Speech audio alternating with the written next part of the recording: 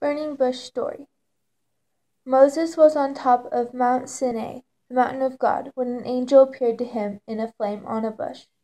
Moses turned aside to look at the bush, and God called to him. God said, Come no closer, remove the sandals from your feet, for the place on which you are standing is holy ground. Then he said, I am the God of Abraham, the God of Isaac, the God of Jacob. Moses hid his face because he was afraid to look at God. Then God said, I observed the I have observed the misery of my people who are in Egypt. I have heard their cry on account of their taskmakers. Indeed, I know they, their sufferings, and I have come down to deliver them from the Egyptians and to bring them up out of that land to a good brood land, a land flowing with milk and honey, to the country of the Canaanites, the Hittites, the Amorites, the Perizzites, the Hivites, and the Jebusites. The cry of the Israelites has now come to me.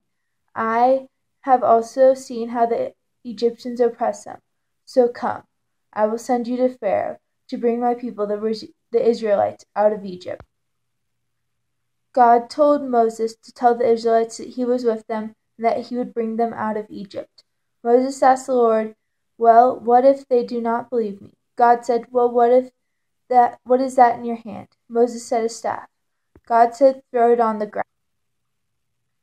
The staff became a snake, and Moses backed away. Then the Lord said, Reach out your hand and grab it by the tail. So Moses did this.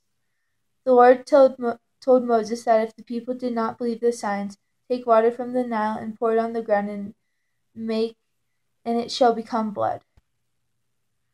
Moses asked the Lord, if it could be someone else. And the Lord said, Take your brother. Moses then took his wife and sons and took them to Egypt, because God said, The people who are seeking to kill you have left.